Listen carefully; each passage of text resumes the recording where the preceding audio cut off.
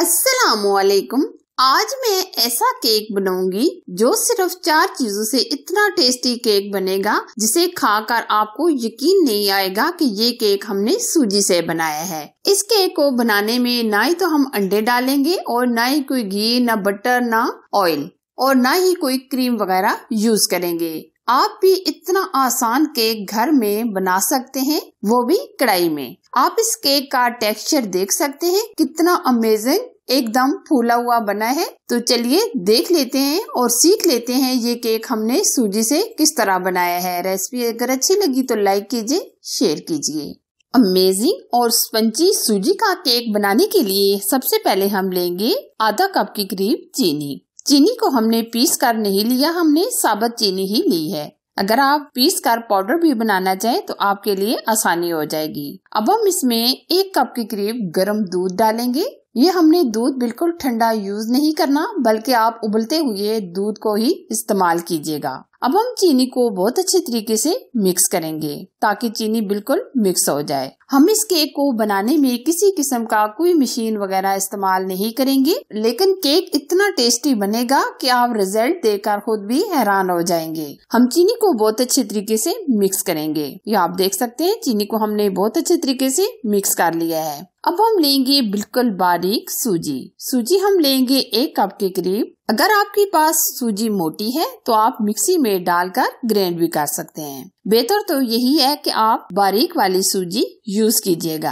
अब हम सूजी को मिक्स करके दूध के अंदर 10 से 12 मिनट के लिए छोड़ देंगे। सूजी को रखी हुई तकरीबन 10 से 12 मिनट गुजर चुके हैं और सूजी आप देख सकते हैं बहुत अच्छी तरीके से फूल चुकी है और जो हमने दूध डाला था, वो सूजी ने पी लिया है। अब हम क्या करेंगे? अच्छी तरीके से इस तरह फेंट लेंगे। फेंटने के बाद हम इसमें जो खास चीज़ ऐड करने वाले हैं, जिससे सूजी एकदम फूल जाएगी, दूसरा एकदम फ्लफी हो जाएगी और एकदम हल्की हो जाएगी। ये हम डालेंगे इनो। और ये हमने एक पैकेट इनो का शामिल कर दिया है। इनो बहुत ही आसानी के साथ मेडिकल स्टोर से मिल जाता है। अगर आपके पास इनो भी नहीं है तो आप इसमें बेकिंग पाउडर, बेकिंग सोडा भी डाल सकते हैं। ये आप देख सकते हैं इनो डालने के साथ ही एकदम सूजी फूल गई है, यानी एकदम फ्लफी हो गई है। हम इसको टेस्ट देने के लिए ऐड करेंगे।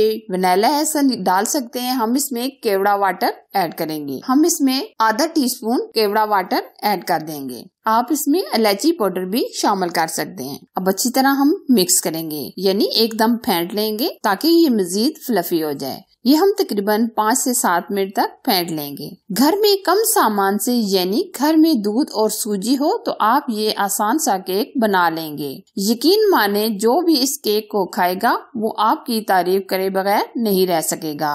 इस केक को बनाने में सामान तो बहुत ही कम लगता है और टाइम भी बहुत ही कम लगता है। ये आप देख सकते हैं फेंटने के बाद आप इसका टेक्सचर देख सकते हैं, कितना ज़बरदस्त हमारा फ्लफी सा बैटर रेडी हो चुका है। अब हम लेंगे केक पैन ये हमने नीचे बटर पेपर लगा दिया है और ऑयल से ग्रीस कर लिया है। अब हम ये सारा बैटर डाल देंगे। इस बैटर ने जितना फूलना था, इतना ही फूल चुका है। अब और मजीद फैलेगा नहीं। अब हम ऊपर से इस तरह सेट कर लेंगे। आप ये केक किसी कटोरे वगैरह में भी बना सकते हैं। जो आपके पास चीज़ अवेलेबल हो, आप उसमें ये बना सकते हैं।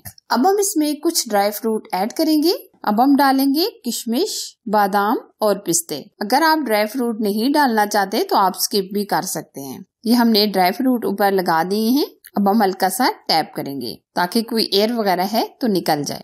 अब हम बेक करेंगे। बेक करने के लिए हमने पतीले को पहले से गर्म कर लिया है। अब हम इसमें जाली स्टैंड रखेंगे। इस तरह का भी आप जाली स्टैंड ले सकते हैं। अब हम इस तरह का जाली स्टैंड लेंगे। अगर आपके पास जाली स्टैंड नहीं है तो आप प्लेट वगैरह भी रख सकते हैं। और ऊपर से कवर करने के बाद हम 30 से 35 मिनट के लिए बेक होने के लिए रख देंगे। केक को रखे हुए हमारे 30 से 35 मिनट हो चुके हैं। आप देख सकते हैं, केक हमारा बहुत अच्छी तरीके से बेक हो चुका है। आप इस तरीके से स्टिक डालकर केक को चेक कर सकते हैं कि आपका केक बेक हो गया या नहीं। अगर आपका केक अंदर से बेक नहीं हुआ तो आप पाँच से सात मिनट मजीद रख सकते हैं। केक को रखे हुए 10 से 12 मिनट गुजर चुके हैं। अभी भी केक गर्म ही है, लेकिन हम नाइफ की मदद से इस तरह किनारों को रिमूव करेंगे ताकि आसानी से केक निकल जाए। ये आप ऊपर कलर दे सकते हैं। ये इनो ही की वजह से बहुत ही प्यारा सा, खूबसूरत सा कलर आया है।